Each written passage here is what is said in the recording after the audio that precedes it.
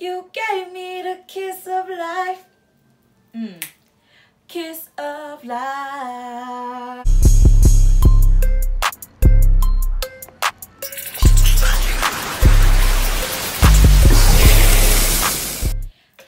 My name is Candace, aka Picasso Baby, and today I'm going to be showing you a Valentine's Day tutorial.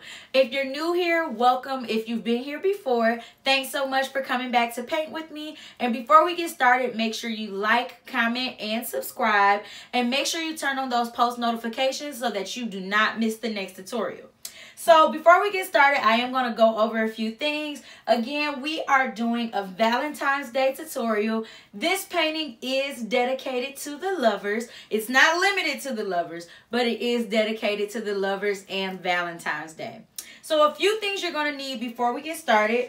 Of course, you're going to need your paint, and I do pour all mine right on a, on a plate, and I work with acrylic paint. The colors I'm using are um, titanium white, Mars black, bright red, phthalo blue, raw sienna, and then chrome yellow.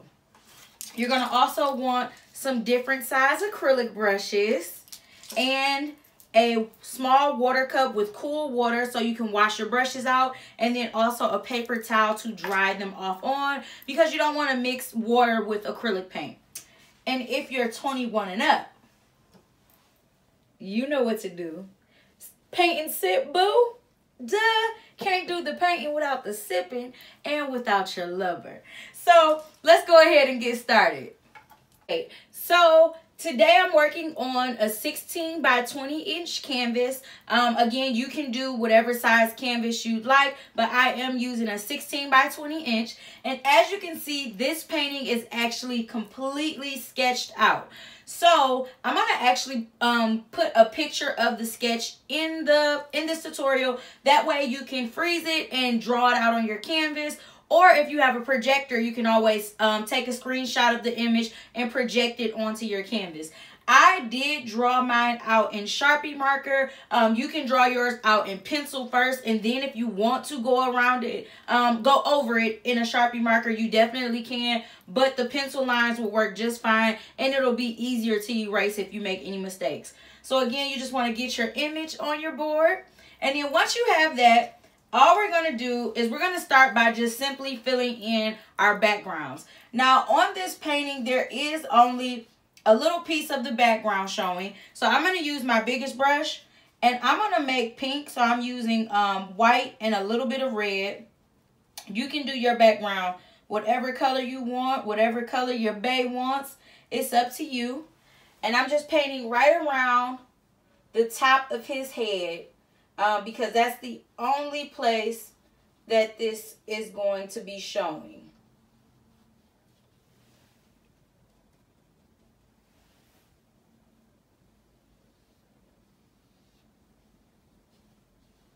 So I'm just going to get this filled in. And as we're as we're working on this, what's your Valentine's Day plans? Are you going to be painting and sipping? Do you have some other quarantine plans um you know you came up with for bae? Let me know. Drop down your plans in the comments. All right. So I have that filled in. And um, again, as you can see, this is completely sketched out. So filling in this painting is going to be really simple. What I'm going to do next is I want to get her skin tone filled in. So I want to get hers filled in first because he kind of covers over her a bit. So I want to get hers filled in first. And I'm making her a bit of a lighter complexion. So I'm going to be mixing brown, white, and a little bit of yellow. You can make her whatever shade you like. So for example, I am working with the raw sienna. If you like this raw sienna how it is, you can use it as is. If you want to lighten it up for a really lighter shade, you can mix brown and white if you're going for more of just like a caramel shade, you can mix brown, yellow, and white. And when you're mixing these, you do want to make sure to mix a good amount right on your plate. So again, if you're going for more of a caramel shade, You can mix brown, yellow, and white. Or if you're going for a darker shade, if you want more of a chocolate lover, you can do um, brown and a little bit of black. Keep in mind that the black does turn dark really quickly, so you don't have to add a lot. A little bit will really do, and if you if it's still not as dark as you want it, you can always add more. And I'm actually going to show you that over here. So whichever shade you decide to go with is completely up to you. But once you choose your shade, you're going to start to fill in everything like around her eyes, around her mouth. You're filling in her entire um, chest area, her arm here, and then also her arm over here. So we're just going to work on getting her skin tone filled in, and then in a few, we're going to come back and work on his skin tone.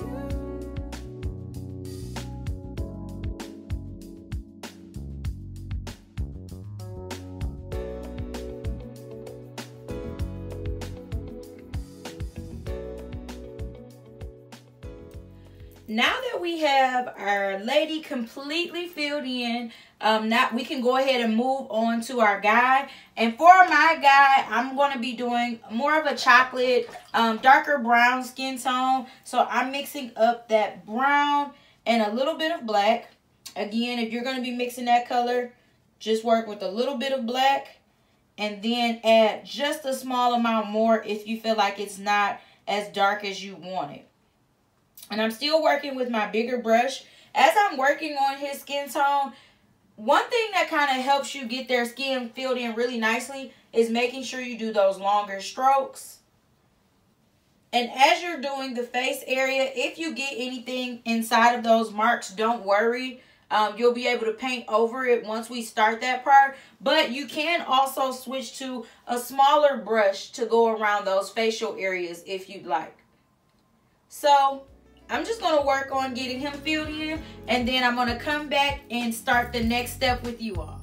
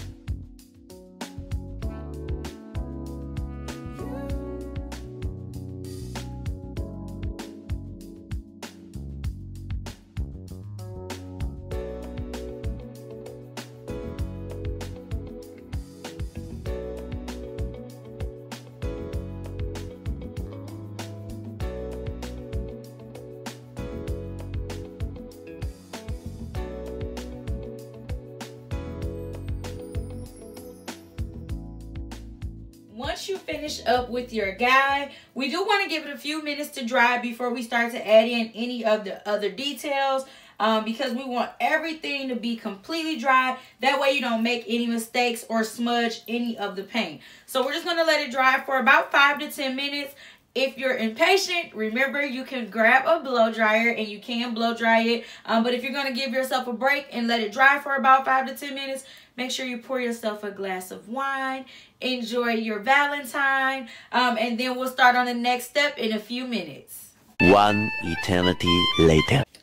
So now that our paintings are completely dry, I'm going to go in and start to add some more details. So I am switching to a smaller brush for this part because I'm going to be filling in the color of her lips and her nail there that's showing. And what I'm going to do, I'm going to mix up some red, some blue, and a little bit of white because I want to make a purple Um, and, I'm going to use that color for her nail and for her lips.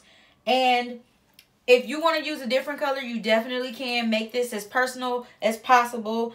Um, but again, I'm using purple. And I'm going to go ahead and get her lips filled in.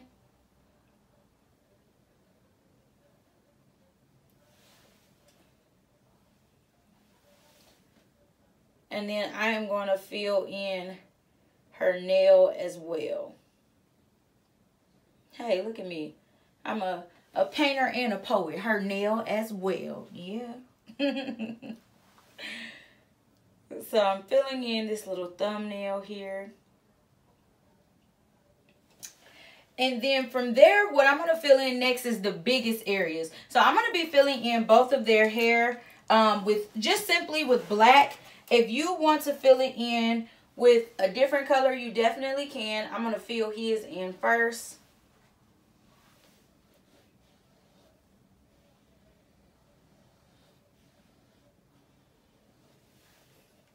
And I did switch to more of a bigger flat brush. You can use a bigger flat brush or a medium brush. It's completely up to you.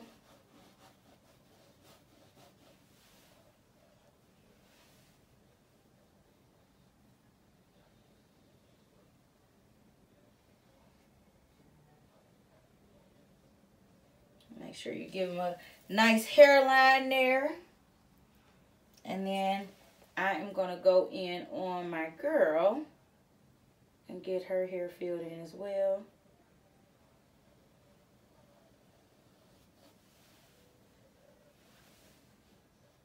And this entire area here is all her hair.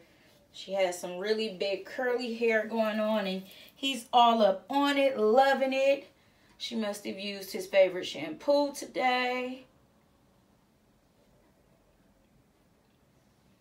And although I'm doing black, you honestly can do whatever color you like. Whether it be red, blonde, um, brown, whatever color works best for you.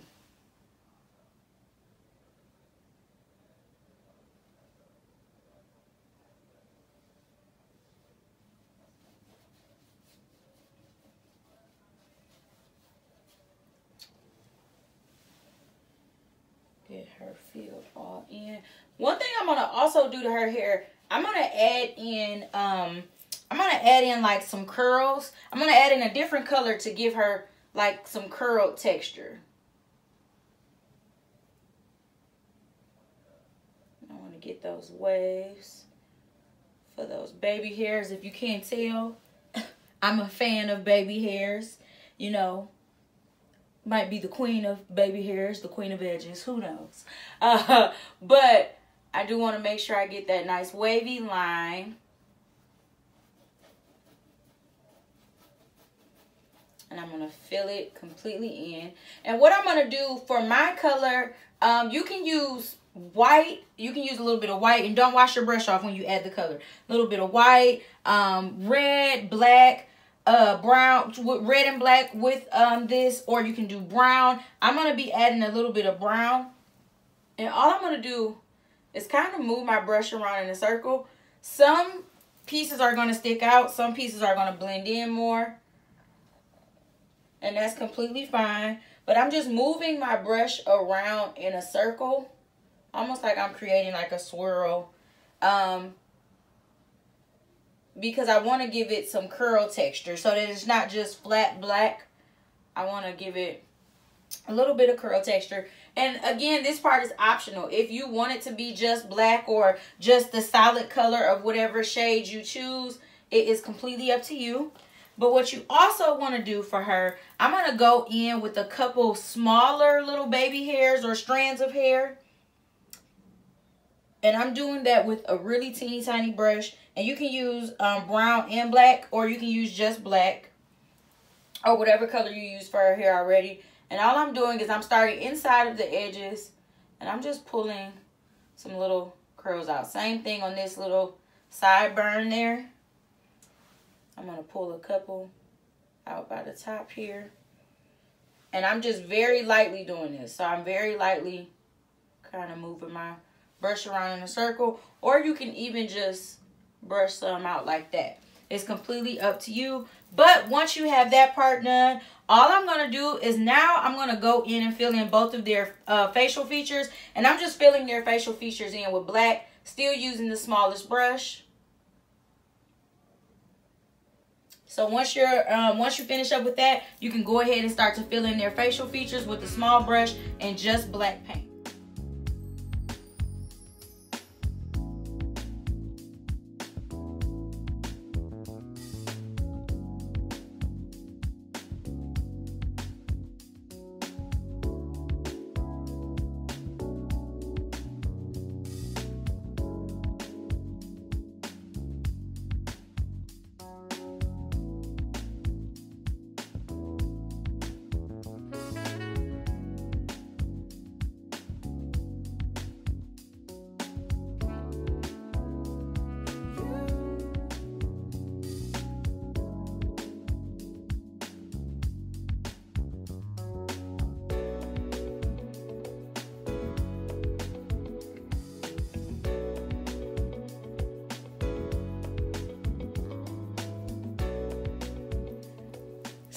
We have their facial features filled in. Again, I just used that smallest brush to fill in both of their facial features with black. I'm going to continue using that small brush because what I'm going to do next, I am going to give everything an outline. So if you like yours at the point where it is, you definitely don't have to outline it. It's completely up to you. But I am going to outline mine um, just to really bring out their features so that you can really see the difference between them. And also to clean it up. If you feel like um, at any point you went outside of the stencil or that some of your edges are not completely painted you this really helps clean it up. So I do suggest doing the outline. Um, the outline is a little more difficult for people that don't have a really steady hand. But what I like to do is I like to hold my brush closer to the end. So closer to the bristles here. And I try to find a dry space on my canvas and place my pinky finger down. And from there, I just slowly guide my brush.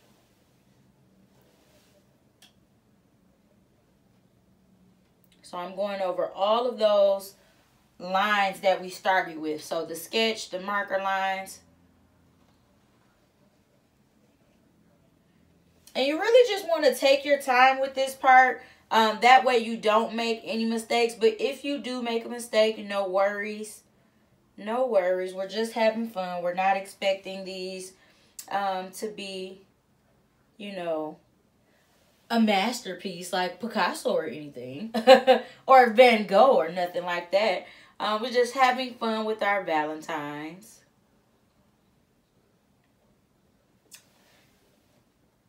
So I'm just getting all of these lines filled in. Um, and again, this really helps. Like, it really helps clean it up. You can go back into areas where you feel like it wasn't lined correctly or the paint just isn't filled in how you want it. You just really have to take your time with this outline. One um, tip too, as you're doing this, if you feel like the paint is a little too thick for you to work with or it's not kind of gliding on there how you would like, add a little water to some of your black paint. And I know I said we don't mix water with acrylic paint, but for this part, um, we can mix it just to thin the paint down just a bit because thinning the paint down is going to allow you to get an even thinner line and it allows the paint to really just glide on there. So if you find a steady spot and just glide your hand, the paint goes on so much smoother that way.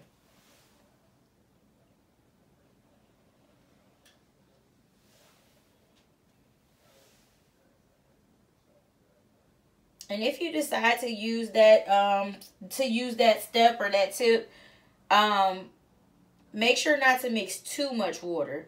You don't want it like running down your canvas. You don't even want it running across the plate. You just want it to be a little thinner than the paint that you started with.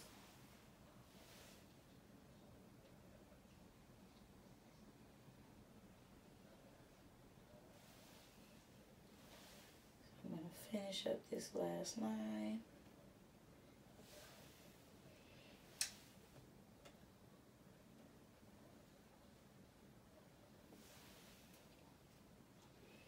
See how it just, it really just cleans it up.